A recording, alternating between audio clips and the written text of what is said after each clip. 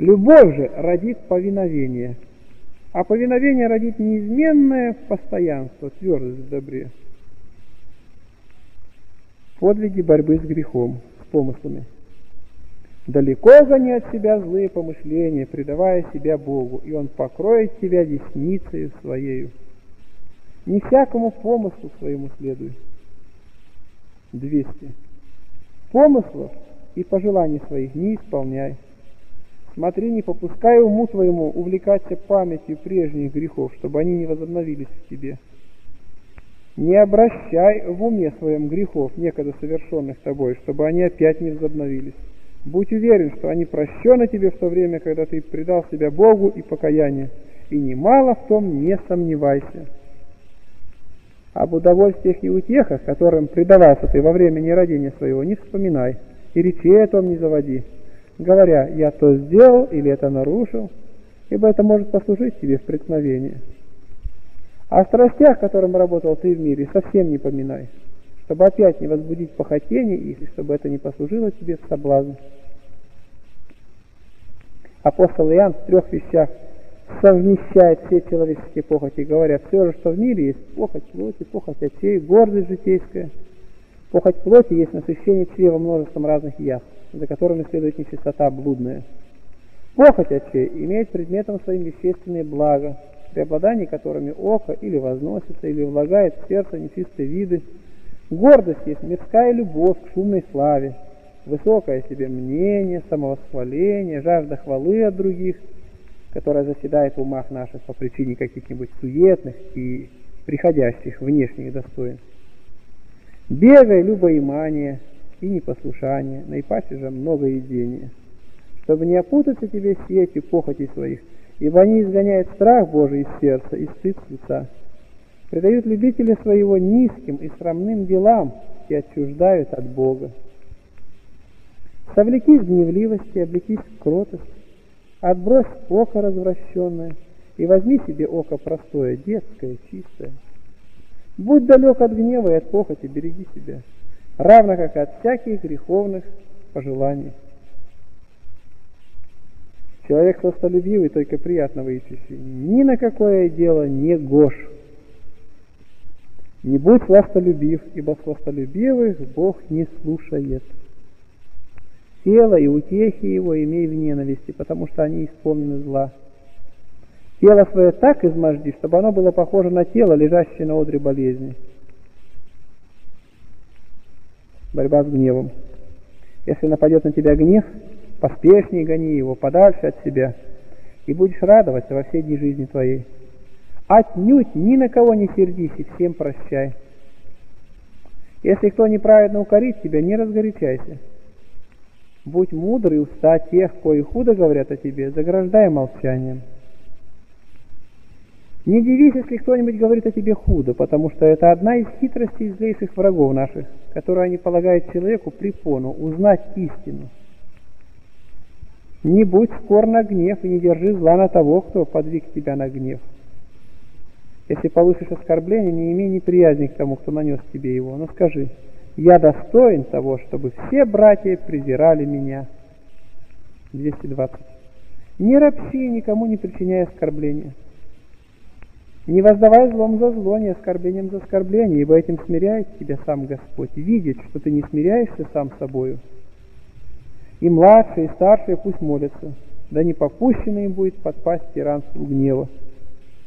Кто подставляет другому ланиту, ударившему его в одну, тот обрадован в поношении своем. Господь наш Иисус Христос никогда не оставит его, ибо Он благ и помогает душам, которые терпят ради Его, ищут Его подавая им силу и крепость, пока не утвердятся в покое от страстей. Итак, радуйся, когда встречаются скорби и смущения, ибо за ними следуют сладкие плоды. Не бойся поношения от людей. Если увидишь, что какой-нибудь брат согрешил, не презирай его, не отвращайся от него и не осуждай его, ибо иначе сам впадешь в руки врагов своих. Не делай Никому зла и никого не осуждай. Ухо своего не подставляй, чтобы услышать худое о других, но будь снисходительно жалостлив к людям и жив будешь. Не осуждай никого, ибо в этом твое падение. Не укоряй брата своего, хотя бы ты видел его нарушителем всех заповедей, иначе и сам впадешь в руки врагов своих. Не осуждай никого из смертных, чтобы Бог не вознушался молитвами твоими. Никому, ни по какой причине не выставляй на вид каких-либо его недостатков. Никому не ставь в укор его немощи. Борьба с тщеславием. Когда творишь милостыню, не выставляй того на вид. Если предаешься подвигам духовным, не хвались тем. О добром деле, которое ты намерен сделать, не говори никому наперед, но сначала сделай его. Когда совершишь какие дела добродетели, то не высокомудрствуй, не говори себе, я то и то сделал. Потому что если будешь так поступать, мудр не будешь. Не будь славолюбив, и в сердце своем не держи самовосхваления. Говоря, я то и то сделал, в том и в том преуспел – Такие помыслы дышат тщеславием, и кто ими набит, тот стал жилищем нечистых духов. Не оставляй воли Божией, чтобы исполнить волю людей. Человекоугодие. Божьи заповеди не нарушай из уважения к дружбе человеческой. Не будь лицемером или притворщиком, тем паче лжецом. Не перед людьми только будь праведен, но сам в себе будь мудр, кроток, благодушен, терпелив, ревностен, человека любив. С гордостью. Не возносись делами своими, каковы бы они ни были. Не возносись гордости и не хвались. Гордость далеко отгони от себя, ближнего же твоего всех людей, почитай лучшими себя. Нет больше нечести, как причинить кому-либо скорбь, и возноситься над другими. Не считай себя мудрым, иначе гордостью вознесется душа твоя, и ты спадешь в руки врагов твоих. 247. Не считай себя всезнающим и мудрым, то есть не говори сам знаю, сам умею делать, иначе пропадет труд твой, и корабль твой напрасно бежал до сели. Заключение. Кто не будет исполнять всего прописанного – тот подвигнет Бога на гнев. Я, Антоний, истину тебе говорю. Итак, преклони ухо твое к словесам моим, сокрой их в сердце своем, и знай, что этими заповедями я предаю тебя Творцу. Если ты сохранишь их, будешь радоваться со всеми ангелами, а всех злых духов порождишь скорбью. Ходи же в сих заповедях, и Бог будет с тобой, и ангелы его будут шествовать тебе. Душа же твоя исполнится благоуханием святых, и светом блаженных воссияет лицо твое, и станешь ты святилищем Богу, как и все святые. И встретишь, наконец, Господа с весельем и радостью, и услышишь голос Он, и говорящий, добрый и верный раб, в малом ты был верен, над многим тебя поставлю, войди в радость Господина твоего. Не отступай ни от одного из сих наставлений, и Господь наш Иисус Христос даст тебе покой и совершит в мире дело, какому приступил ты. Совершенные отцы наши и те, которые подражали им, от исполнения их стали совершенными. Если к сказанному захочешь прибавить какой-нибудь из добрых дел, прибавь, и непрестанно высылай благодарение Господу нашему Иисусу Христу. 251. Каждую ночь слезами своими обливай ложе свое и смачивай постель твою, и смиряй себя перед Господом да изгладит он грехи твои, и тебя паки обновит, да подаст тебе помощь в совершении дел благих, и да дарует наследие Царства Свое Вечное. И ему будет хвала, честь, слава и поклонение со Всеблагим Отцем и Святым Духом, ныне и присно, и во веки веков. Аминь. Изречение святого Антония Великого и сказание о нем – об отречении от мира. Кто хочет с успехом совершать подвиг иночества, тому надо на совсем рассчитаться с миром, и благо его все оставить, и делом из него выйти, и всякое пристрастие к вещам его отсечь. Эту истину впечатлительно внушил святой Антоний одному брату, который, отказавшись от мира и раздав бедным все, что имел, удержал при себе малость, некую на случай нужды, какую, какой, и пришел к святому Антонию. Старец, посмотрев на него, узнал, что в нем, и сказал ему, если хочешь быть монахом, пойди в такое-то селение, купи мясо, разрежь его на тонкие куски, и, скинув одеяние, развесь на плечи и на руки, и так, в таком виде приди сюда. Брат сделал, как велел ему старец. И тут собаки, птицы и шершни окружили его и покрыли ранами все тело его. Когда пришел он опять к старцу, сей спросил его, сделал ли он, что ему было приказано. Он, жалуясь, показал раны свои. Тогда святой Антоний сказал ему, так бывает с тем, кто, оставляя мир, хоть малость какую изумение удерживает при себе. Ранами покроет его демона, и стерзанный пойдет он в бранях. Того же предмета касается следующее сказание, сохраненное Касьяном. Пришел к святому Антонию брат, думавший, что нет никакой необходимости уходить из мира, и начал говорить, «Больше цены имеет тот, кто подвязается в городе или селении, исполняет все, что требуется для достижения совершенства духовного». Святой Антоний спросил его, «Да ты где и как живешь?» Тот отвечал, «Живу в доме родителей, который доставляет мне все нужное». Это избавляет меня от всех забот и попечений, я непрестанно занят только чтением, молитвой, без всякого развлечения, духа, чем-либо сторонним. Святой Антоний спросил его опять, «Скажи мне, сын мой, скорбишь ли ты вместе с ними в горестях, и сорадуешься ли радостям их?» Тот признался, что испытывает то и другое. Тогда старец сказал ему, «Знай же, что и в будущем веке будешь ты разделять участь с теми, с кем всей жизни делишь ты радость и горе.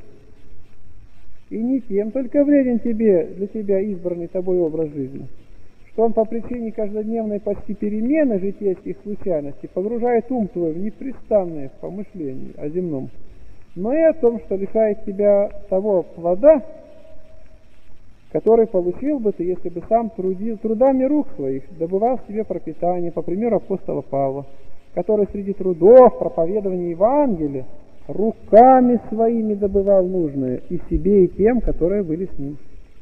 Как говорил он это Ефесянам, «Сами знаете, что потребностям моим послужили руки мои мне и сущим со мною». Делал же это он в наше назидание, чтобы дать нам пример – как писал он фессалоникийцам, и не бесчинствуйте, как есть некоторых у вас, которые суетятся, ничего не делают. Вы знаете, как я показал вам пример, трудясь день и ночь, чтобы не тяготить кого из вас. Вот почему и мы, имея возможность пользоваться пособием родных, предпочитаем лучше добывать себе содержание в поте лица, нежели обеспечивать себе доставкой его от родных. Охотно избрали бы мы последний, если бы могли считать его более полезным. К тому же знай, что если, будучи здоров, ты живешь на чужой счет, то поедаешь достояние бедных и немощных. Что же делать? Оставивший мир вступает в совершенно новую область жизни, которая, хотя, конечно, не совсем безызвестной бывает для него, много, однако же, представляет сторон, которые невольно вызывают вопрос – что же делать и как жить должно? К святому Антонию не раз обращались с таким вопросом.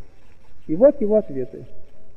Спрашивал ее об этом Ава Памву, и он ответил ему, «Не уповай на свою праведность и истинно кайся о прошедших грехах, обуздывай язык, сердце и чрево». Вот что сказал он по всему же вопросу Аве Пимену. «Дело славнейшее из всех дел, какие может совершать человек, есть исповедовать грехи свои перед Богом и своими старцами, осуждать самого себя и быть готовым встретить каждое искушение до последнего издыхания. Иной некто спрашивал ее, что же мне делать, чтобы угодить Богу? Святой Антоний отвечал, куда бы ты ни пошел, всегда имей Бога перед своими очами. Что бы ты ни делал, имей на то свидетельство в и в каком бы месте ты ни жил, не скоро уходи отсюда. Соблюдай сии три заповеди и спасешься. Еще одному ученику внушал он, отвращение возмей к чреву своему, к требованиям века сего, к похоти злой и чести людской. Живи так, как бы тебя не было в мире всем, и обретешь покой. 7. Вот что, как пишет святой Афанасий, говорил Ава Антоний братьям, приходившим к нему – Всегда имейте страх перед очами своими. Помните того, кто мертвит и живит. 1 Царств 2.6. Возненавидьте мир и все, что в нем. Возненавидьте всякое плотское успокоение, отрекитесь всей жизни, дабы жить для Бога. Помните то, что вы обещали Богу, ибо Он взыщет всего от вас в день суда.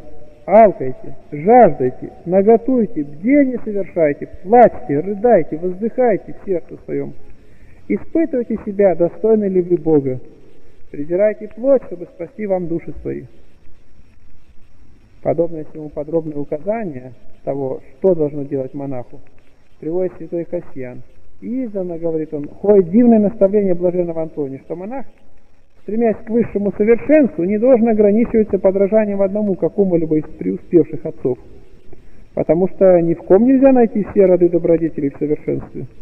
Но один украшается ведением, другой силен здравым рассуждением, третий тверд непоколебимым терпением, иной отличается смирением, иной воздержанием, иной благодатной простотой сердца, тот превосходит других великодушием, а этот милосердием, тот бдением, а этот молчанием или трудолюбием. Почему монах, желающий составлять духовные соты, должен, подобно мудрой пчеле, всякую добродетель заимствовать у того, кто наиболее освоен с нею, и слагать ее в сосуде сердца своего, не обращая внимания на то, чего нет у кого, но присматриваясь к той добродетели, и ту себе усвоить, ревнуя, какой кто отличается. Если сделать перечень всего указанного, окажется довольно просторной поприще для подвигов. Спрашивается, какая сила движет на них труженика и поддержит его в трудах? Сила это есть ревность о спасении. Слава ради имени Божия, готовая на все. Есть эта ревность, у инока все подвиги в ходу. Нет ее, все стало. Почему, когда однажды брат, у которого не доставала этой ревности, пришедший к святому Антонию, просил его помолиться о нем, великий старец ответил ему, «Ни я, ни Бог не жалится над тобою, если ты не будешь заботиться сам о себе и молиться Богу». По сей же причине советовал он держать себя в постоянном внимании к Богу и в бодрственности – хваля как великую добродетель, если кто во все время жизни своей работает неослабно Господу и до последнего издыхания стоит на страже против поздней искусителя. Потому убеждал не ослаблять себе ни в чем, но с терпением хранить всегда тот же дух ревности, говоря, монах, который несколько дней подвязается и потом послабляет себе, потом опять подвязается, опять не родится, такой монах все равно, что ничего не делает. И никогда не достигнет он совершенства жизни за недостатком постоянства, ревности и терпения. Почему ищущего льгот называл он не понимающим своего чина и своих целей, и весь неуспех у иноков производил от, недо... от недостатка усердия к трудничеству. Потому, говорил он, мы не преуспеваем, что не знаем своего чина не понимаем, чего требует дело, к которому приступаем – но хотим достигнуть добродетели без труда. От того, коль скоро встретим искушение в своем месте, переходим на другое, думая, что есть где-нибудь место, в котором нет дьявола. Но кто познал, что есть брань, тот не дает себе ослабы с Божьей помощью, но постоянно воинствует. Замечательно сей предмет слова святого Антония к тем, которые одного не хотят, другого не могут. Пришли однажды какие-то братья к святому Антонию и говорят ему, дай нам наставление, как спастись. Старец отвечал им, вы слышали Писание? И всего очень довольно для вас. Но они сказали, мы от тебя, Отец, хотим что-нибудь услышать. Тогда старец сказал им, в Евангелии сказано, если кто ударит тебя в правую щеку, обрати к нему и другую. Они говорят ему, мы этого не можем сделать. Старец сказал, если вы не можете поставить другой, по крайней мере, переносите удары в одну. И этого не можем, отвечали те. Если этого не можете, сказал старец, по крайней мере, не платите ударом за удар. Братья сказали, и этого не можем. Тогда святой Антоний сказал ученику своему, приготовь им немного варева, они больны. Если вы одного не можете, а другого не хотите, то что я вам сделаю? Нужно молиться им самим или других об них, чтобы пробудился в них дух ревности, нравственная энергия. Но ревность сама по себе бывает иногда слепа и может принять направление, несообразное с целями начатой жизни. Почему должна быть ограждена руководителями? Кто же сие руководители? Святой Антоний указывает их два – свое рассуждение и совет опытных. Сошлись некогда отцы к святому Антонию, чтобы расследовать, какая добродетель совершеннее всех, и какая могла бы охранить монаха от всех сетей вражьих. Всякий из них сказал, что казалось ему правильным. Причем одни похвалили пост и бдение, так как они упорядочивают помыслы, тонким делает ум и облегчает человеку приближение его к Богу. Другие больше одобрили нищету и презрение вещей земных, потому что через это ум становится спокойнее, чище и свободнее от забот мирских, а потому приближение его к Богу делается более удобным. Некоторые хотели дать преимущество перед всеми добродетелями милосердию, потому что Господь скажет милосердным, «Придите, благословенный Отца моего, наследуйте уготованное вам царство от создания мира». Иные говорили иное. А святой Антоний сказал, «Все добродетели, о которых вы поминали, очень спасительны и крайне нужны тем, которые ищут Бога и которые пламенеют сильным желанием приблизиться к Нему.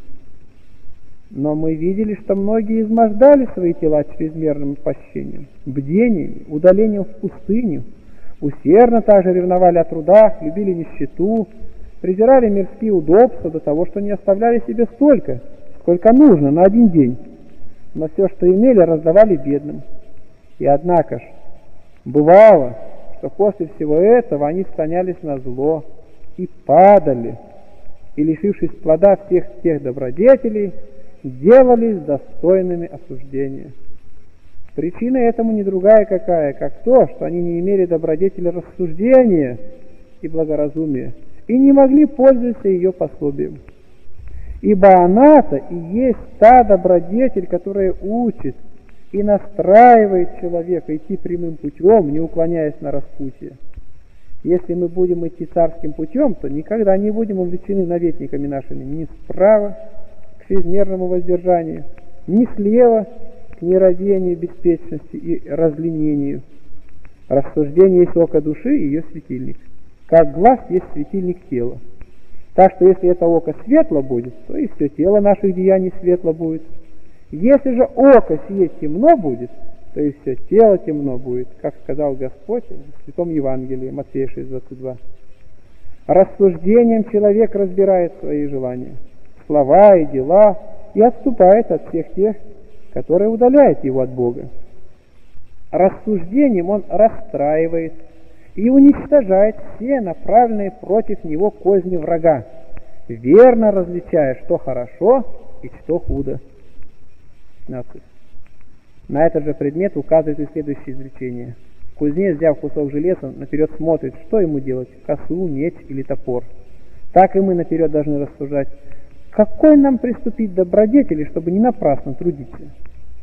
Ближе бы всего, конечно, руководиться своим рассуждением, если бы его всегда на все и у всех доставало.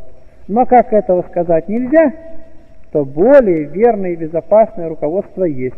Это совет опытных. В всем смысле, говорит святой Антоний, я знаю монахов, которые после многих трудов пали и подверглись безумию, потому что понадеялись на свои дела и презрели заповедь того, кто сказал – Вопроси отца твоего и возвысить тебя. Второзаконие 32.7. Еще. Священное Писание говорит, у них нет управления и падают, как листы. Притча 11.14. И заповедует ничего не делать без совета, так что не позволяет даже духовное питье, веселящее сердце человека, пить без совета. Когда говорит без совета, ничего не делает. Сираха 32.21. И советом пей вино, Человек без совета, делающий дела свои, походит на город неогражденный, в который кто не захочет, входит и расхищает его сокровища. Спрашивая других, святой Антоний считал столь спасительным делом, что даже сам, учитель всех, обращался с вопросом к ученику своему, преуспевшему, однако же, и как тот сказал, так и поступил. ибо повествует, что когда Ава Антоний получил от императора Констанция письменное приглашение прибыть в Константинополь, то обратился к Павлу при простому с вопросом, «Должно ли мне идти?» И когда тот сказал, «Если пойдешь, будешь Антоний, а если не пойдешь, то будешь Авва Антоний». Чем не одобрялось такое путешествие, то он спокойно остался на месте. Так и всем другим советовал он поступать, говоря, монах, если можно, должен спрашивать старцев о всяком шаге, который делает в келье своей, о всякой капле воды, какую выпивает. Я знаю некоторых монахов, которые пали потому, что думали одни сами по себе угодить Богу. Таким образом, святой Антоний не одобрял доверия к своему суждению. Не потому ли отнесся он с похвалами и об Аве Иосифе, сказавшим на один вопрос из Писания – не знаю, что этим, кроме смирения, выражалось и недоверие к своему уму. Это было так. Пришли к святому Антонию старцы, и с ними был Иава Иосиф. Старец, желая испытать их, предложил ему изречение из Писания и стал спрашивать каждого, начав с младших, что значит все изречения. Каждый говорил по своим силам. Но старец каждому отвечал, нет, не узнал. После всех он говорит Аве Иосифу, ты что скажешь о всем изречении? «Не знаю», — отвечал Иосиф. Ава Антоний говорит, «Ава Иосиф попал на путь, когда сказал «не знаю». Впрочем, и другим доверять советовал он не без ограничения. Надо бы наперед удостовериться в правомыслии и в опытности старца, и тогда уже доверять его слову и беспрекословно принимать его советы. Признак, по которому это можно распознать, есть согласие слова его со Словом Божиим – надо насмотреть, говорил он, на то, что повелевается.